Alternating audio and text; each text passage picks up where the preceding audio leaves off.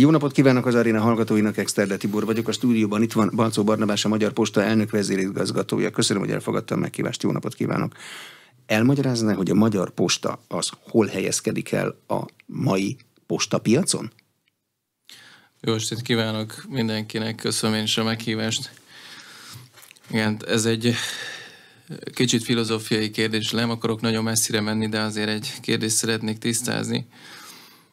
A postát és a magyar postát alapvetően azt gondolom, hogy a filozófiai szempontból két oldalról lehet megközelíteni. Az egyik az a, a, az a típusú elképzelés, aki azt mondja, hogy a magyar posta ez egy állami cég, egy állami vállalat, 22 ezer eh, munkavállalóval, és alapvetően, mint a, a közszolgáltatásnak, postai, postai eh, tevékenységnek, mint közszolgáltatásnak a letéteményese egy nagy állami vállalat, aki a az ország minden egyes pontján ott van, és a 7000 kézbesítővel az összes állampolgárt eléri, és ebből, ebből a szempontból ez egy ilyen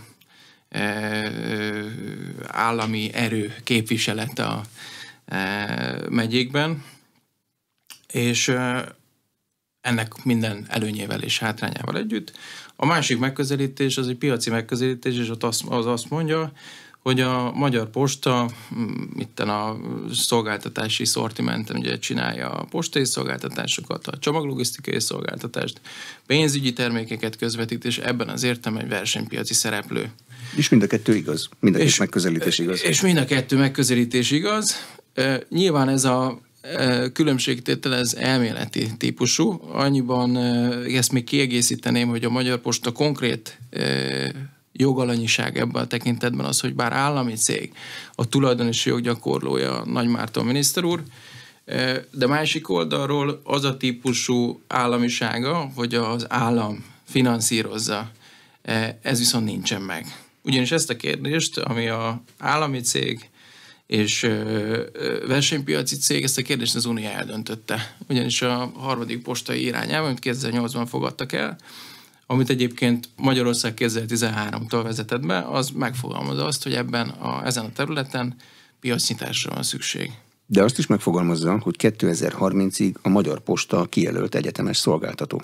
Így van, ez egy egyetemes szolgáltatási kötelezettség a, a Magyarországon a Magyar Postának. Németországban egyébként nincsen ilyen egyetemes szolgáltató és ez jár e, mindenféle valóban kötelezettséggel. Ezt némileg egyébként kompenzálja a, a, a magyar állam a éves 230 milliárdos árbevételünkhöz, mint egy ilyen 5 milliárd forinttal járul hozzá egyébként a költségvetésből, és ezt mindezt azért teszi, mert azt mondja, hogy önmagában az, hogy a Magyar Posta olyan településeken és területeken is ott van, ahol egyébként neki veszteségei keletkeznek, ezt a méltánytalan többletterhet, ezt ő kompenzálja. Az egyetemes szolgáltatás az nagyon leegyszerűsítve az, amit muszáj csinálni, de igazából nem lehet annyiért adni, hogy megérje? Az, hogy pontosan mi az ellátási kötelezettség, azt a megállapodásunk, az irányelv és a postatörvény azt meghatározza. És ez valóban így van, és ez már inkább a gyakorlat, hogy, milyen módon lehet adott esetben ilyen sok ponton és ilyen sok helyszínen ezt a szolgáltatást ellátni. Erre vannak számok, és vannak viszonyítási pontok. Ez egyébként, hogyha konkrétan erre kérdez rá, ez postahely tekintetében, és akkor ezt tisztázzuk ezt a kérdést. Ez azt jelenti, hogy Magyarországon körülbelül 1600 darab postának kellene lennie ezek alapján, a szabályok alapján. Ehhez képest jelenleg 2200 postánk van. 2300 településünk van, akkor gyakorlatilag majdnem minden településre jut egy posta. Jó, egy ugye, hogy a Budapestet nagynak veszük, a, akkor Igen, a, több. azzal, hogy értemszerűen vannak itt nagyobb városok, ahol több posta van, és vannak olyan települések, ahol posta hivatalunk egyébként nincsen. Mhm. A piaci bevételből meg lehet finanszírozni az egyetemes szolgáltatást? Leszámítva azt az 5 milliárdot, amit a kormánytól erre kapnak? Ugye ennek az elvi megalapozása, vagy az elvi háttere az az, hogy alapvetően a Magyar Posta, mivel ott van az összes településen, e, ezért e, a csomaglogisztikai szolgáltatást ezen a hálózaton keresztül képes végezni az, hogy ezt a szolgáltatást milyen feltételekkel tudja egyébként rentábilisan csinálni már a csomaglogisztikai szolgáltatást, milyen fejlesztésekre van szükség hozzá, és azt, abból aztán a közép, rövid, illetve hosszú távon milyen árbevételt tud e, realizálni, ez nagyon sok mindentől függ képes kompenzálni a postai szolgáltatásokból eredő kiesést. Ugye a csomaglogisztika az, amikor valakinek feladnak egy csomagot, az valahova beérkezik, ott tudják, hogy hova kell kivinni, és oda viszik, bárhol is legyen az országban. Ez a csomaglogisztika? Ez így van, ez így van, és akkor itt hadd tegyek egy rövid megjegyzést ezzel kapcsolatban, ugyanis némileg a Magyar Postának, a postalogisztikának a megítélését árnyalja az, hogy bennünket azokkal a vállalatokkal hasonlítanak össze, akik tisztán for profit vállalatok.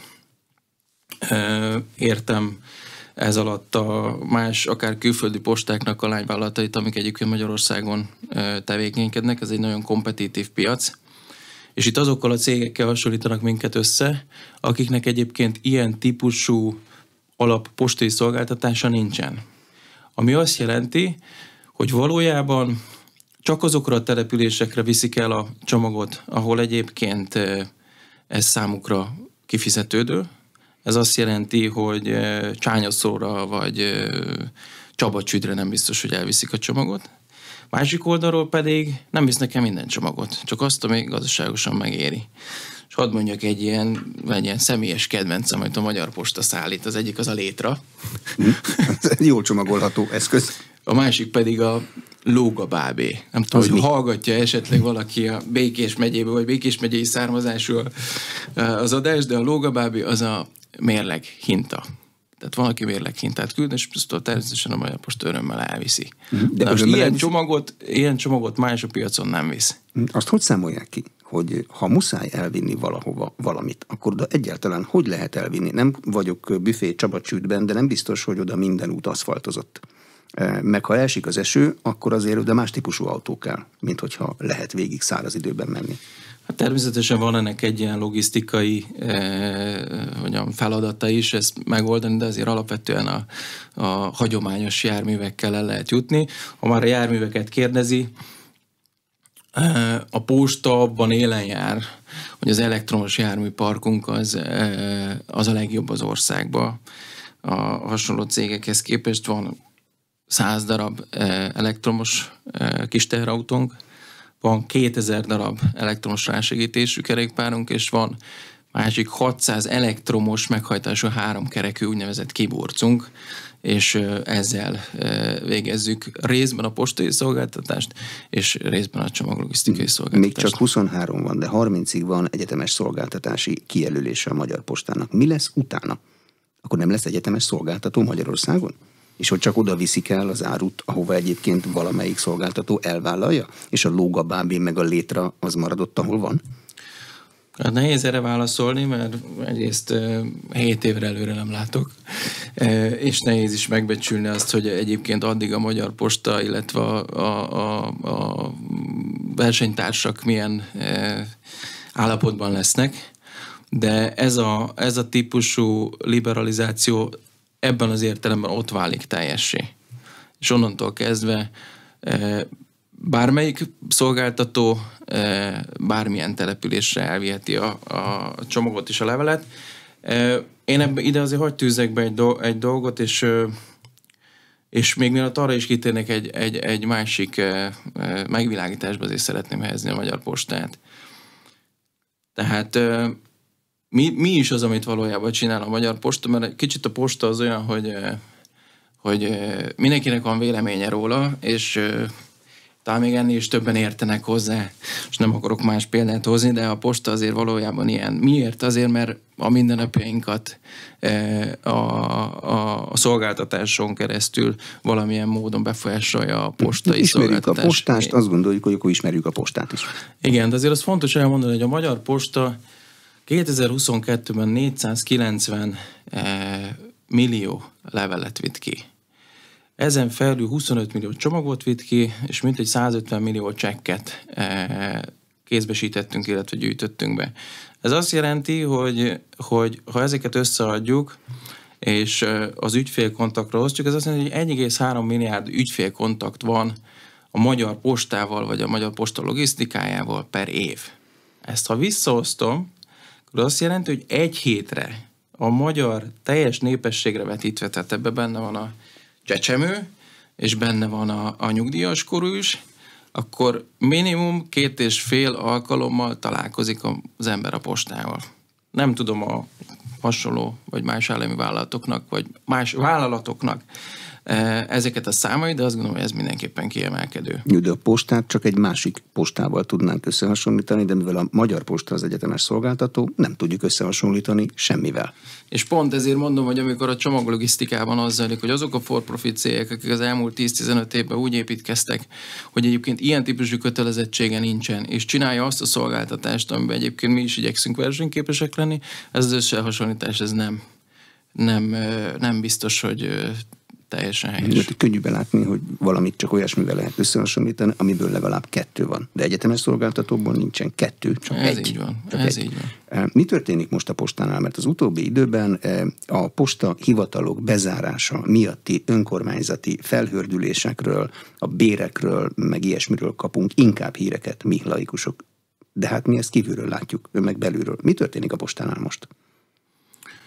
A Magyar Posta új vezetésének, amivel természetesen a kollégáimat is értem, az a feladata, és ezt a feladatot kaptuk a tulajdonosi joggyakorló minisztert, hogy egy 21. századi ügyfélközpontú, digitális, és egyébként egy valós ügyfélélményt adó e, céget építsünk föl. Na most ennek e, az előbb elhangzottakhoz kapcsolódóan nagyon sok eleme van. E, ugye itt van a Magyar Postán maga a hálózat, ez alatt értem a postahelyeket és a postahivatalokat. Itt van a csomaglogisztika, van egy eh, pénzügyi közvetítő, illetve szolgáltatási eh, funkciója a Magyar Postának, erről majd talán később egy kicsit bővebben is beszélek. És ahhoz, hogy ebben a helyzetben, ami a 2022 és 2023-as eh, éveket és ezt a jelenlegi gazdasági helyzetet jelenti. Tehát amikor a, az energiaköltségünk itt az üzemanyagot is ideértve éves szinten 20 milliárd fölé kúszik. E, amikor van egy inflációs környezet, amikor van egy nehéz finanszírozási környezet, akkor ez a helyzet rákényszeríti egyébként is a, a, a cégeket. És ugye itt azért nagyon zárójelben mondom, hogy nagyon nagy cégek e, jártak pórul ezzel a, a, a, az energiahelyzettel, vagy ezzel a gazdasági helyzettel. Itt ezekre a kérdésekre a Magyar Postának is kell válaszokat adnia. Ez annyiban gyorsította föl, ha lehet így fogalmazni a Magyar Posta fejlesztését, hogy azok a kérdések, amik e, vagy nem akarok így fogalmazni, de lehet, hogy mégis pontos megfogalmazás, hogy szőnyeg alá voltak söpörve. Vagy azok a kérdések, amiket azért nem tettünk meg, mert azt gondoltunk, hogy ezt majd ráér később megtenni, ezeket ez fölgyorsította.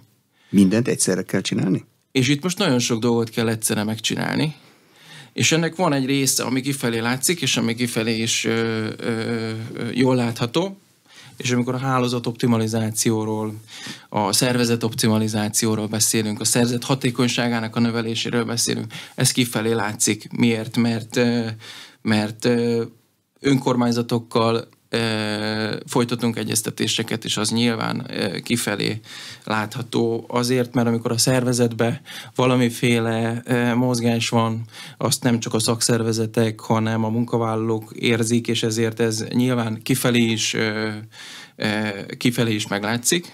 És vannak azok a dolgok, amik egyébként kifelé nem látszanak, értem ez alatt az informatikai fejlesztéseket, értem ez alatt azokat az üzleti megállapodásokat egyébként, amit a Magyar Posta mindenféle vállalatokkal kötött. Ezeknek e, van egy olyan rész, ami kifelé látszik, ezekről majd e, egy pár mondatot mondok, és van az a rész, ami nem látszik, de mindenke, mindegyik ilyen intézkedés annak az érdemében zajlik, hogy a Magyar Posta e, e, egy, egy hosszú távon komolyabb ügyfélélményt, egy jobb szolgáltatást nem drágábban nyújtó cég legyen, amit egyébként hosszú távon is lehet működtetni. Na, Nagy Márton tulajdonosi jogokat gyakorló miniszternek az elvárása, hogy az államnak ne kelljen finanszírozni a postát egy záros határidőn belül? Tehát még ez az 5 milliárd sem menjen bele? Erről nem beszélgettünk, így, Én azt gondolom, hogy az államnak ebbe alapvetően két szempontja lehet. Illetve két szempontja van. Az egyik az az, hogy ne kell öntenie bele a forrásokat, mert az azt jelenti, hogy valami ott a cégen belül nem feltétlenül jól működik. Nem azt folyik. jelentheti. Ez az egyik. A másik meg az az, ami eh, majd eh, lehet, hogy ki fog javítani, és majd most meg fog emiatt eh, interi, de én azt gondolom, hogy a másik az az, hogy igazából nem az az elvárás a tulajdonosnak, hogy nagyon nagy osztalékot fizessen a tulajdonosnak a Magyar Posta, és hosszú távon 10 milliárdokat fizessen az állami költségvetésre. Hozzáteszem, hogy ennek a realitása sem ö, ö, van most jelen pillanatban, hanem az, hogy jól működjön, hosszú távon működjön, és akik ebbe a cégbe dolgoznak, azok megfelelő megbecsülés mellett működjenek.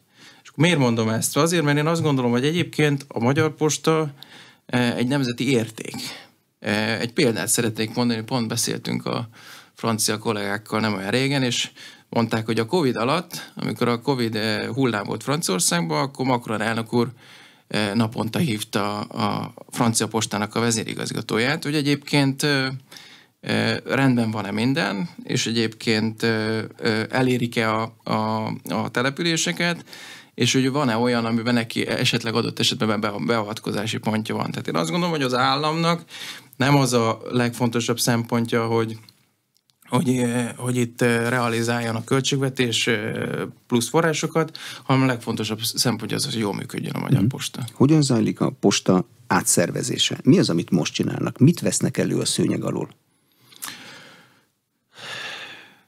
Azt gondolom, hogy elvi típusú megjegyzésként szeretném elmondani, hogy hogy a Magyar Postán semmi olyan dolog nem zajlik, ami egy ilyen, egy ilyen boszorkánykonyhában, egy ilyen sötét szobába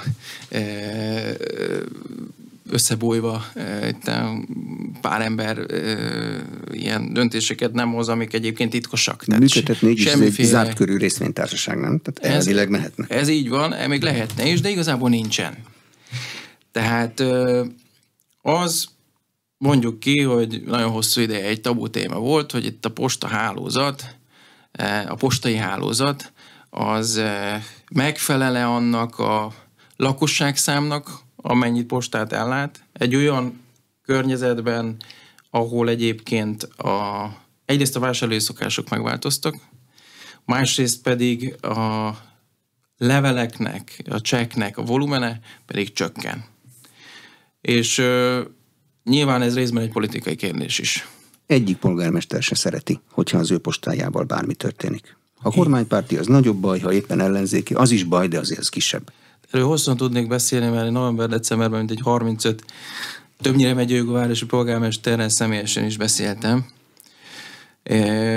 Ez így van. És ráadásul azért is van ez így, mert a, a, az energiaválság az őket is érinti más módon és más ö, frontokon. Tehát amikor én arról beszélek, hogy nálam az energiaköltség az mennyivel emelkedett, akkor pontosan értő, hogy miről van szó. Számára az a kérdés, hogy az a postahely, ami ott volt, az, az maradhat vagy nem.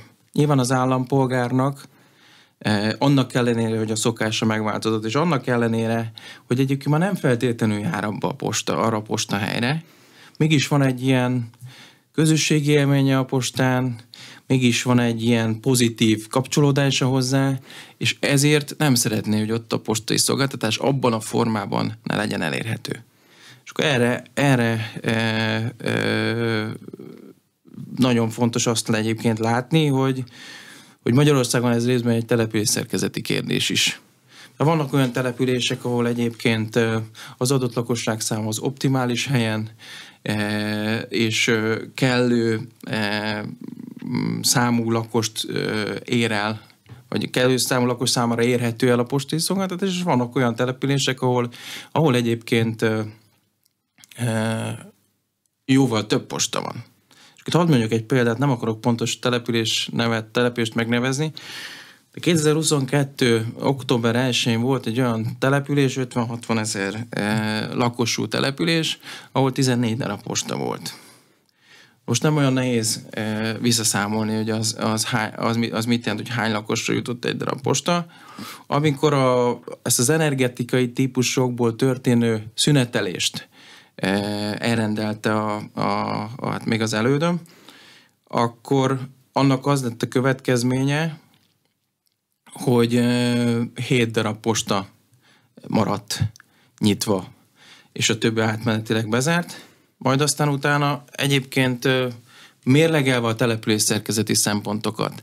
És itt a 35 polgármestert azért mondtam, mert én személyesen ennyivel, de a kollégák jóval több polgármestere tárgyaltak. Ezeket a szempontokat egyedileg mérlegeltük. És egyedileg néztük meg azt, hogy mely pontokon van szükség újranyitásra, lehet így fogalmazni, és így lett az, hogy 32 településen 45 postát meg újra nyitottunk, az önkormányzatokkal közösen. Tehát beszállnak az önkormányzatok, ez azt jelenti, hogy az ő büdzséjükből beletesznek a posta büdzséjébe? Ez azt jelenti, hogy ők ezt a szolgáltatást a Magyar Postától megrendelik, és ezt a szolgáltatást azon fölül, ami egyébként a Magyar Postának a kötelezettsége, amiről itt a beszélgetés elején beszéltünk, azon fölül pluszba ezt a szolgáltatást ellátja.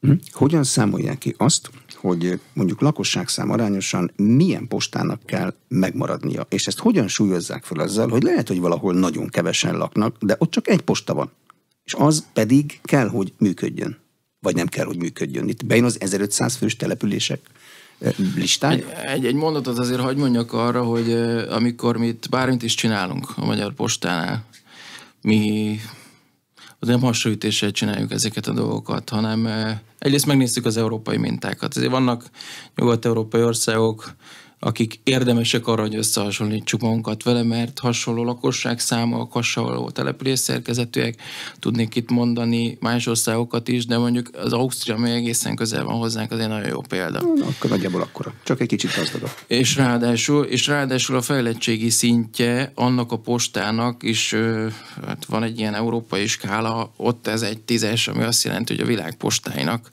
a japán, meg a német, meg a francia mellett, ez ott van az első háromba.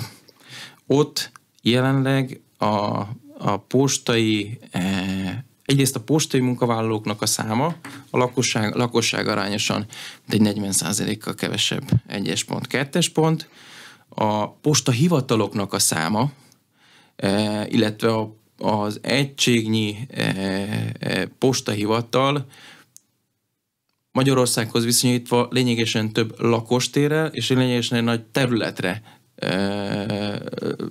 végzi a szolgáltatását. Tehát az azt jelenti, hogy mi, mi sűrűbben vagyunk,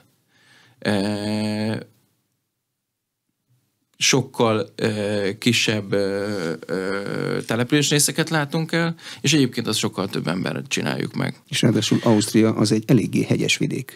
Így azért van. dolgozni is kicsit másképp lehet. I, ha leesik a hó, oda nem megy senki föl. Ez, ez így van, és ennél messzebb megyek, mert ezt a típusú partneri programot, amit mi elkezdtünk itt Magyarországon, illetve amire vonatkozó együttműködésünk egyébként már van, mert 323 postapartnerünk van jelenleg, ezt az osztrákok valósították meg először. Hm. Tehát akkor posta partnereket fognak szerződni, akik a postai szolgáltatást fogják csinálni?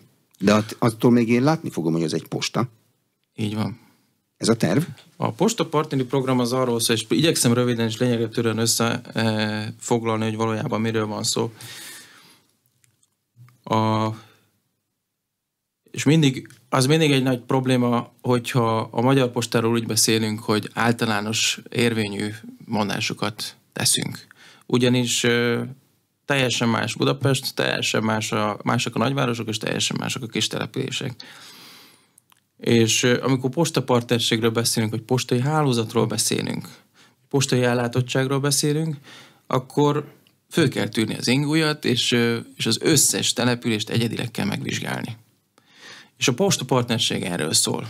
Mi alapvetően megkerestük az önkormányzatokat, azzal a céllal, hogy vagy az önkormányzatokkal, vagy egy helyi vállalkozóval, kisbolttal, gyógyszertárral, pékséggel kötnénk egy olyan megállapodást, aminek az a lényege, hogy mi magát a postai szolgáltatásnak a logisztikai részét, tehát elvisszük a levelet, elvisszük a cseket, elvisszük a pénzt, elvisszük a, a, a csomagot, ott ki kell alakítani egy, egy postapultot, ha lehet így fogalmazni, és, és amit egyébként mi oda viszünk, oda visszük az informatikát, oda visszük az eszközöket, gyakorlatilag nulla befektetés ez a, a, az adott partnernek, és azt várjuk el tőle, hogy adjon egy ingatlant, legyen a saját ingatlanja, legyen az önkormányzatnál, legyen a művelődési házba, legyen a boltba, vagy legyen a gyógyszertárba egy ennek megfelelő sarok,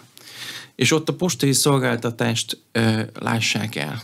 És neki ebbe az az üzlet, hogy forgalmat fog generálni a posta? Neki az az üzlet, hogy erre mi jutalékot fizetünk. És túlmegyek ezen, mert külön kell választani nyilván az 1500 fő alatti településeket, mert milyen forgalmat generál ott a levél és a csekkforgalom, az 1500 fölötti településeket, a 3000 fő és 5000 fő közötti településeket, az 5 és a 10 között, és az a fölött levőket. Nyilván itt más jutalékkal, jutalékkal számolunk, de ami azt gondolom, hogy ami a legfontosabb számunkra, az az, hogy a kis településeken minél több ilyen megállapodást tudjunk kötni, és a postai szolgáltatás ebben a formájában elérhető legyen. Uh-huh. Tehát postai szolgáltatás gyakorlatilag a teljes postai spektrumban, csak nem a posta épületében, hanem egy más vállalkozó és vagy ez egység akár. És ez akár lehet a posta épületében is. És ezzel egy kicsit tovább megyek, hogyha az önkormányzat azt gondolja, hogy ezt a posta épületében szeretné meg, e, megvalósítani, akkor nyitottak vagyunk arra, hogy azt az ingatlant értékesítsük a, a, az önkormányzat számára. Itt Bocsánat, egy még egy, egy dolgot, ez nagyon fontos hozzáfűznöm. Az 1500 fő alatti településen érezve, hogy egyébként ez milyen fontos, hogy ott ez a, ez a típusú postai szolgáltatás ebben a formában e, megmaradjon, ezért mi a jutaléktól függetlenül egy munkavállaló számára a garantált bérminimumnak mindenkori összegét ezt egy, egy szolgáltatásként, vagy egy szerződésben áfával együtt, azt biztosítjuk. Mm. Tehát függetlenül attól, hogy egyébként ő mennyi levelet, vagy csekket, vagy csomagot vesz föl.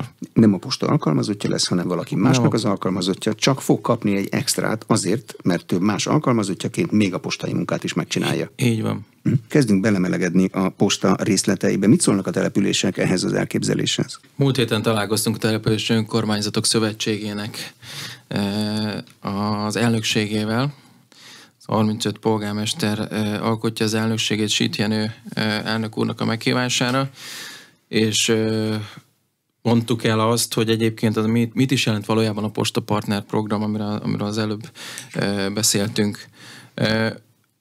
Általánosságban elmondható, hogy a, a, az önkormányzatok, illetve a polgármesterek nagyon érdeklődnek ez iránt, van egy nyitottság bennük, de ugyanakkor nagyon fontos, hogy lássák ennek minden egyes részletét. Ott elmagyaráztuk azt, hogy ez a, főleg a kis településeknek, de más településeknek e, milyen szempontrendszer alapján és miért jó. E, és ott, illetve azt követően az elnök úrral abban állapodtunk meg, hogy ők segítik a Magyar Postának ezen e, törekvéseit, azért, mert egyébként egyet értenek ezzel, és érdekük az, hogy, hogy ebbe közösen tudjunk a, az önkormányzatok felé kommunikálni. Mi ezeket az egyeztetéseket már megkezdtük, ezeknek az elején vagyunk, de szeretnénk ebben gyorsan haladni, és hát remélem, hogy, hogy az, a, az, a, az az üzleti ajánlat, ami egyébként tényleg újra gondolásra került, az kellőképpen kecsegtető a, a, az önkormányzatok számára. Mhm. Mindenkivel külön tárgyalunk, és minden eset más. Nem Jön. lehet általánosítani. De ez a posta partnerségi program, ez nem a mobilposta ez program. Nem a, mobilposta. a mobilposta az ennek a kiegészítője? A mobilposta szolgáltatást, azt nem is tudom pontosan, hogy hány éve e, csináljuk Magyarországon, alapvetően kétféle módon zajlik. Az egyik az az a típusú mobilposta szolgáltatás, amikor a posta gépjárműje az adott ingatlanhoz e, érkezik és megáll, és ott végzi el a levél kézbesítést, illetve a csekk levél föladást, tehát itt egyben egy felvétel és egyben egy kézbesítési tevékenység zajlik, és van egy másik típusú, mobilposta, ami pedig azt jelenti, hogy a település közepén megálladott időpontban egy bizonyos időre, egy időszakra a, a, a mobilposta, és ott egyébként, és a másiknál is ugyanazok a szolgáltatások, amik egyébként a posta hivatalokba is igénybe vehetők, e, igénybe vehetők. Tényleg ugyanazok? Tehát mi értékpapírt is fogok tudni venni a mobilpostán? Így ne? van, így van. Ez jelenleg is, jelenleg is így van. Az, a, az állampapír forgalmazás kivételével a biztosításokat és a, a bankszámlanyítást, a személyi kölcsönt és egyéb dolgokat is a mobilpostán el lehet intézni. Egyébként 506 darab ilyen mobilpostánk van jelenleg, 1254 települést látunk el mobilpostával, és ebből 354 az, ami a, az előbb említett háznál történő kézbesítés. Bocsánat, ennek milyen az ügyfél megítélése? Amikor ez elindult jó néhány évvel ezelőtt a biztosítás, értékpapír, termékek vásárlása, nehéz volt elképzelni, hogy a postai dolgozó eh, még ezt is fogja tudni csinálni. Megszerettük? Sokat vásárolunk biztosítást, meg értékpapírt a postán? Meg banki terméket? Ezt külön választanám, hogy a, a megítélése a hálózaton belül milyen, illetve mi ebbe a Magyar Posta érdeke? A hálózaton belül el tudom képzelni, plusz munka. Plusz munka abban az esetben, hogyha ha ehhez járul egy komolyabb jutalékbevételből fakadó plusz juttatás, ami egyébként beépül, vagy, vagy hozzáadódik a, a, a havi keresethez, akkor ez egy, azt gondolom, hogy egy, egy nagyon jó és egy nagyon fontos tevékenység a postának. Azt nem felejtsük el, hogy ez a 2200 posta, postai hely. Ez egy nagyon nagy érték. És azt gondolom, hogy nekünk az a feladatunk, hogyha már itt a, a, a beszélgettünk arról, hogy milyen ilyen típusú pénzügyi szolgáltatások vannak, akkor azért e, azt elmondanám, hogy, hogy ugye e, az állampapíron túl, ahol most már egyébként az 1000 milliárdot átléptük, és 1000 milliárd fölötti állományt kezelünk, a biztosításon túl életbiztosítás, utasbiztosítás, lakásbiztosítás, és a banki termékeken túl egy átlag állampolgár nem biztos, hogy tudja, hogy személyi kölcsönt is fel lehet venni a postán. De hogy ez egy nagyon nagy érték ez a hálózat, és azt gondolom, hogy ha, ha valamibe van, vagy lehet kitörési pontja a Magyar Postának, hogy meg kell nézzük ezeket a megállapodásainkat, amik ebbe a, e, e, ezekben a pénzügyi termékek forgalmazásában vannak, új dolgokat ki kell találnunk, és én azt gondolom, hogy a szervezetet képesnek kell tenni arra, hogy ezt a szolgáltatást, ezt a típusú szolgáltatást, ezt magasabb szinten tudjuk csinálni. Jobban megformulázott termékekkel? Gyorsabban eladható termékekkel? Az olyan nagyon fontos, hogy egyszerű, megbízható, gyorsan eladható termék legyen. És bocsánat, nem fejeztem be a, a mondatot az előbb, tehát az nagyon fontos, hogy az a kollega, aki ezt értékesíti, azt ezt azért értékesítse, mert hogy érzi, hogy ez neki, ez neki érdeke fűződik. Ehhez át kell néznünk azt, hogy, hogy illetve ez folyamatban van, hogy az a típusú juttatás, ami egyébként párosul az értékesítéshez, az megfelelő-e, az a típusú értékesítési módszer, ahogyan ezt most csináljuk, ez megfelelő-e? Az a típusú támogatás, amit ehhez az adott kolléga kap, az megfelelő-e? De én azt gondolom, hogy ebben nagyon nagy potenciál van. Hm. Mi lesz a módszer? Ezen gondolkoznak-e? Azért az elég fura lesz. Most elképzelem, amikor előttem valaki, ahelyett, hogy a levelét adná föl, még elkezd pénzügyi termékeket vásárolni, akkor én tépni fogom mögötte a hajamat. Vagy ez külön ablakos hát ez, lesz? Tehát hogy, hogy kell elképzelni? Nem tudom, nem tudom, hogy ez jövő idő-e. Tehát, van ö, ilyen? Azért mondom. Látom, hogy érdeklik a pénzügyek, és akkor elkezd vásárolni. Biztosítást elkezd vásárolni. Igen. Előbb erre utaltam, hogy ez, ezeket a kérdéseket kell tisztáznunk regionálisan, a nagyvárosokban, a kisvárosokban letisztázni, hogy ki mivel foglalkozik, megtehetem azt, hogy egy embernek azt mondom, hogy csak értékesítéssel foglalkozik. Melyik, melyik postán mondhatom azt, hogy ő csak értékesítéssel foglalkozik. Melyik postán mondhatom azt, hogy ha kell, akkor értékesítéssel foglalkozik, és azt gondolom, hogy ezt a típus értékesítést valóban lehet magasabb szinten művelni eh, részletei kidolgozás alatt. Mm-hmm. Hogyha esetleg meghívnak következőre, akkor szívesen beszélek még róla. Banki háttér, MKB és takarékbank? Vagy most bankholding? Vagy mi lesz a, bank, a banki háttere? Külön megállapodásunk van a takarékbankkal, illetve a, a, a, az MKB, MKB bankkal, illetve most kezelhetjük ebben az értelemben külön is, talán pár napunk van, hogy ezt külön említsük. És hát itt a, a, a számlavezetés, illetve a személyi kölcsön, illetve a hitel kapcsolódik egyikhez, illetve a másikhoz ezeket a, ezeket a termékeket akkor tudjuk igazán jól értékesíteni, és ez a biztosításra is igaz. Hogyha ezek tényleg egyszerű termékek, ha ezek a termékek ezek aktualizálva vannak a, a, az adott gazdasági helyzethez, mert egy megtakarítás az versenyzik az állampapírral adott esetben, egy megtakarítási számla. És akkor, hogyha ezek, ezek valóban gyorsan és érthetően értékesíthetők, hiszen az a közösség, és hát az a közönség, akikkel mi találkozunk, azok erre várnak, erre vágynak, és ezt szeretnék, mert ezért megy be. Hm? Más állami céggel, például a szerencsejátékval együttműködés, az most milyen? Miért nem lehet például posta hivatali sarkot csinálni a Totó Lottó feladásnál? Ez egy jó kérdés, hogy a postán csinálunk szerencsejáték sarkot, vagy, vagy a szerencsejáték ZRT-vel e, e, postasarkot. Van együttműködésünk a szerencsejáték ZRT-vel a, a, a, a szerencsejáték értékesítése kapcsán. Folynak is egyeztetéseink. E, azt szeretnénk, hogyha azokba a partnerségekbe, ahol egyébként mi a postai szolgáltatást most helyezni fogjuk, abban ugyanúgy a szerencsejáték termékek elérhetők lennének. Az, hogy további szinergiáink vannak-e, azt vizsgáljuk. Hm. Szerencsejáték termékeket be lehet vinni a postára, ott nincs valami korhatár, hogy én bemehetek-e olyan helyiségbe, ahol szerencsejátékot árusítanak? El kell kordonozni valahogy? Vagy Kap, ilyen... Kaparos sorsinyet nyugodtan kaparos lehet vásárolni, lehet? igen, és Nyilván. egyéb termékeket is. Ez a, amire gondol, az talán abban az esetben ló, merülne föl, hogyha...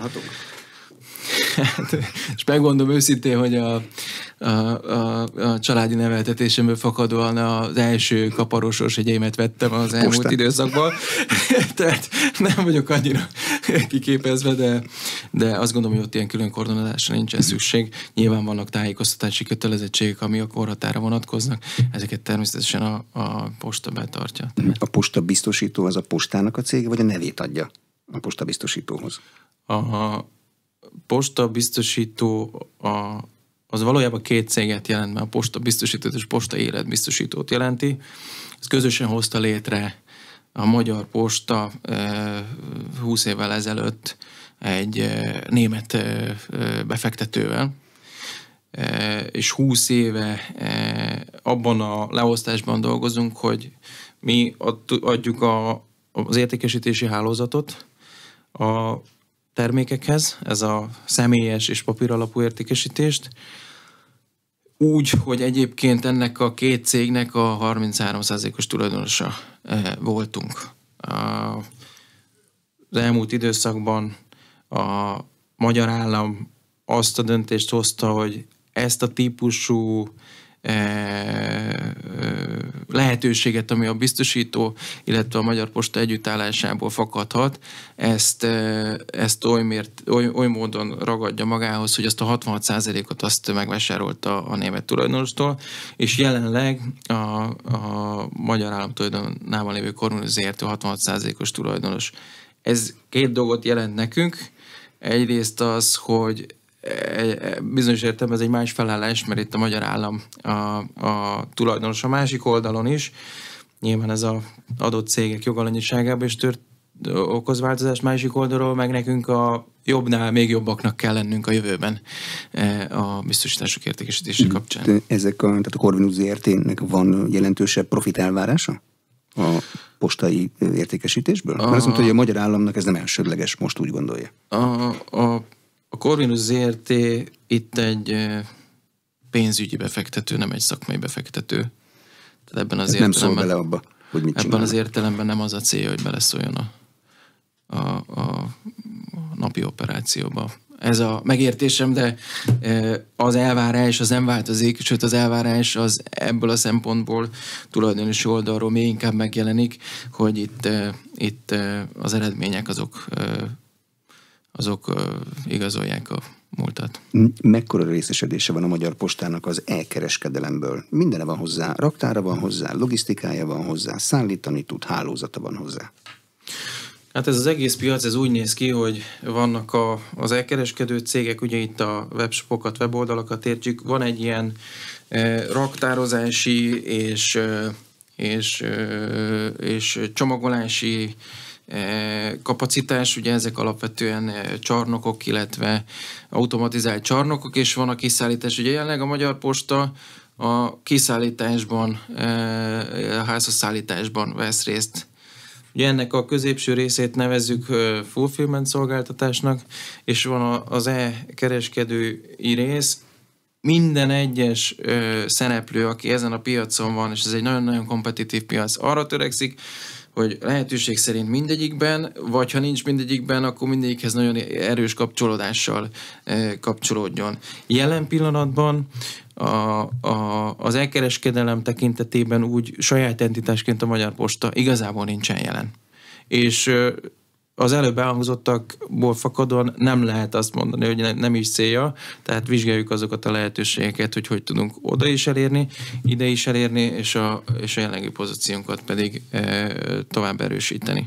Azt azért el kell mondjam, hogy ingatlan beruházás tekintetében nagyon nagyot léptünk előre, és amikor azt mondom, hogy a hálózaton költséget kell csökkenteni, akkor a csomaglogisztikán egy nagyon komoly verseny van, ami fejlesztést igényel, ez egy volumenverseny, és egyedülálló az, hogy a Magyar Posta az Magyarországon ezen a piacon, akinek egy, egy nagyon komoly depohálózata van, 18 depónk van az országban, jelenleg is fejlesztünk a központi régióban, illetve ezeknek a depóknak a szállítópályával való ellátottságát. Most 12-nél tartunk, de ezt, ezt az összesre be fogjuk fejezni, és egyébként ez már önmagában egy kapacitás ez már sokat jelent abba, abból a szempontból, hogy egyébként mire vagyunk képesek. És ha azt mondom, hogy ez egy volumenverseny, akkor ebben a volumenversenyben egyébként jól állunk. De volumenverseny az, hogy mindenki a lehető legtöbb szállítást igyekszik megszerezni saját magának. Nyilván ez mert... egy árazási kérdés is, tehát hogyha sok nagy volumen tudok, akkor jobban tudok árazni. Hmm. Akkor vonzóbb a piacon. És Mindenki megnézi, összehasonlító termé... oldalon megnézi ki a legolcsóbb, az a legolcsóbb, akinek nagyobb a volumene. Természetesen ez egy kom- nagyon komoly üzleti kérdés is, mert ez a piac, mint említettem, rendkívül kompetitív, nagyon sok összefüggése van. Részben még én is tanulom, tehát nem akarok álszent lenni, és nem mondom azt, hogy én ezt már olyan jól ismerem.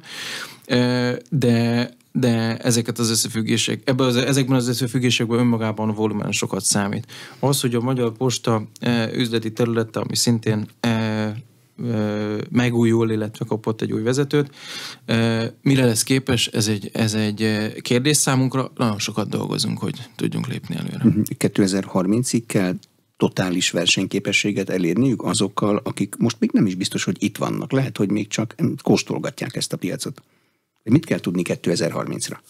Amikor az egyetemes szolgáltatást hát én, valaki eladja. Én, én őszintén szóval azt tudom megmondani, hogy mit szeretnék 2030-ra látni a Magyar Posta oldaláról. Én azt szeretném, hogyha a Magyar Posta úgy, mint, mint kellőképpen digitalizált és informatikai háttérrel ellátott cég, aki egy olyan szolgáltatást nyújt, ami jobb a jelenlegénél, és legalább olyan jó, mint az összes piac, piac összes többi szereplőjénél, és nem drágább. Tehát ugyanazt az ügyfélélményt, vagy még jobb ügyfélélményt tud nyújtani. Az ehhez rendelkezésre álló forrásokat, illetve a rendelkezésre álló forrásainkat úgy használjuk föl, hogy az, az ebbe az irányba hasson, és egyébként hosszú távon egy olyan, olyan cégünk legyen, és ez 2030, ha arról beszélünk, hogy hosszú távon, akkor a 2030 számomra hosszú táv, hogy nem csak, hogy jól működik, társadalmi elfogadottsága van, és egyébként emellett még rentábilis is. Jó, de postának ma is van társadalmi elfogadottsága. Hát ismerem a postást, aki hozzánk jön. Így van. Ez, ez egy társadalmi elfogadottság. Tudom, hogy ki fog jönni. Hol nincs a postának társadalmi elfogadottsága? Én azt gondolom, hogy azok az akciók és költséghatékonyságnövelő intézkedések és struktúrált alakítások, azok, azok, azoknak le kell zajlania, és uh, ahol ez a, ez a típusú társadalmi elfogadottság uh, jelenleg még nincsen meg, vagy, uh, vagy, uh, vagy jelenleg nem kielégítő, itt erre utaltam, hogy azoknak, azoknak, a, azoknak a folyamatoknak le kell zajlania, és akkor azt gondolom, hogy indokolt egy, egy, egy, egy magasabb társadalmi elfogadottság, ahogyan volt ez az általam korábban említett Ausztriában is. Uh-huh. Említett, hogy Ausztriában jóval kevesebb postai dolgozóval szolgálnak ki, nagyjából ugyanakkor a volumen. Ebből azt a következtetést kell levonni, hogy a postánál is elbocsátásokra készülnek? Jelen pillanatban? Igen. A Magyar Postánál? A jelen pillanatban a Magyar Postánál, illetve az elmúlt időszakban bejelentettünk egy létszemleépítést, egy 1200 fős létszemleépítést, ez folyamatban van, és ez zajlik. E, és ez, ez azt jelenti, hogy hogy vannak olyan pozíciók, amik, vagy bocsánat, ettől függetlenül azt kell, hogy mondjam, hogy vannak olyan pozíciók, hogy egyébként keresünk munkavállalókat. Tehát ez nem egy ilyen statikus elbocsátás, hanem itt arról van szó, hogy, hogy hogy van egy nagy fokú fluktuáció a, a, a cégen belül. Ha megnézzünk más postákat, de akkor most már az előbb említett osztrákot hadd mondjam újra, ott több mint 50 százalék olyan munkavállaló van, aki kvázi szakképzettség nélkül, illetve aki a kézbesítő, aki az effektív, effektív logisztikai munkát végzi. E, nálunk ez 30 százalék. Ebből több kéne? És, és az volna az én elvárásom szerint az volna az ideális, és ezt mutatja a nemzetközi trend is, hogy a, a olyan módon kéne, hogy nőjön, de inkább azt mondom, hogy olyan kéne, hogy csökkenjen az irányítás, illetve azok a, a back office tevékenységekre eső munkavállalóknak a száma, hogy ne legyen több, mint, a, a, mint akik effektíve a, a, a, a kézbesítést végzik, legyen szó futárokról, vagy, vagy kézbesítőkről. Informatika belső irányítás színvonala elég ahhoz, hogy a back office-t le tudja csökkenteni azért, hogy a frontvonalban dolgozók, akik velem találkoznak, többen lehessenek? Informatikában sokat haladtunk elő, de nagyon nagy lemaradásunk is van. Tehát itt van mit bepótolni. Ezen sokat dolgozunk. Egy ekkora cégnél nyilván van ennek a cégnek egy múltja, nagyon sok informatikai rendszerünk van, ezekből nagyon sokat ki kell váltani.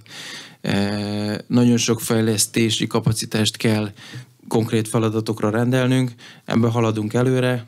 Ennek van egy olyan része, ami a belső rendszereinknek a fejlesztése, és van egy olyan része, ami a, a, az új típusú működésünknek a fejlesztése. Ebben nagyon sok munkánk van még. 10%-os bérfejlesztésről állapodtak meg egy szakszervezettel, ha a hullapon ezt pontosan olvastam. Közben 25% fölött van az infláció. Ez nem tűnik nagyon nagy lépésnek. Így van, és örülök, hogy ezt megkérdezi. E, két szakszervezettel, a reprezentatív szakszervezetekkel tárgyaltunk erről a, erről a kérdésről, és, e, és e, van egy olyan ez nem kell talán egyetemi végzettség, de van egy olyan helyzet, ami részben az, a jogalanyiságával fakad a Magyar Postának, hogy egész egyszerűen a, kiadás az nem lehet több, mint a bevétel. És van egy másik típusú ö, megállapítás is, hogy alapvetően hitelből a bért finanszírozni az hát legalábbis hosszú távon nem jó döntés. Ezért azt kellett nekünk megtalálni, és egyébként szeretném jelezni, hogy itt a szakszervezetek nagyon nehezen és hosszan állapodtunk, mert nagyon pozitívan álltak, és nagyon, nagyon hogy mondjam, konstruktívan álltak a, a megbeszéléseinkhez.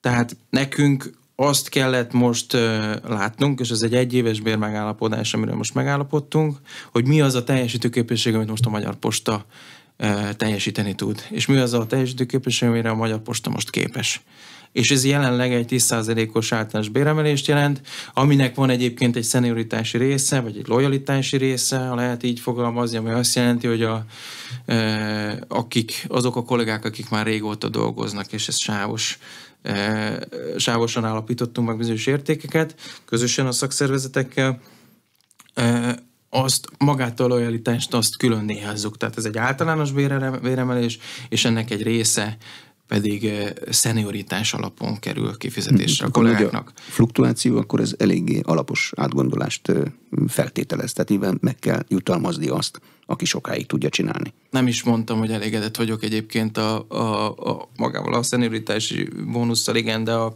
a bérmegállapodás ez egy lépcsőfok, és ez most jelenleg megfelel a Magyar Posta teljesítő képességének, és mindannyian azon dolgozunk, hogy, hogy itt, itt előrelépéseket tudjunk egyébként tenni. Ha jönnek a jobb idők, akkor a postánál dolgozni az egy jövősebb szakma lesz? Vagy hogy kell ezt elképzelni? Szóval mit keres ma egy kézbesítő? A, ha egy összességében kell mondjam, akkor a, a, a Magyar Postánál a garantált bérminumra való ráállás az, az a, gyakorlatilag a jelenlegi munkavállalóknak a felét érintette. Ami azt jelenti, hogy egyébként ez megtörtént, és ezt, ezt már január 1-től végrehajtottuk. Egyébként maga az egész bérmegállapodás az január 1-től e, hatályos, tehát most visszamenőleg kapják meg a kollégák a január, február, március, április első béreket. De de ebben az értelemben ismételten mondom, tehát ez egy lépcsőfok, és innen kell tovább lépnünk, és innen kell tovább e, haladnunk, afelé a megbecsülés felé, amit egyébként a, a postasok valójában annak e, érdekében, illetve annak alapján, amilyen munkát végeznek, e, valóban, valóban megérdemelnek. Egyébként e, külön szeretném megköszönni a szakszervezeteknek a több hónapos egyeztetést is a, a típusú. Kőkemény meló postásnak lenni Igen. mindenhol. Köszönöm szépen a tájékoztatást. Balcó Barnabást, a Magyar Posta elnök vezérigazgatóját hallották. A műsor elkészítésében Módos Márton főszerkesztő vett részt. A beszélgetést a rádióban most felvételről hallották, és az infostart.hu oldalon is figyelemmel kísérletik. Ha érdekesnek találták, iratkozzanak fel az Inforádió YouTube csatornájára. Köszönöm a figyelmet, Exterde Tibor vagyok.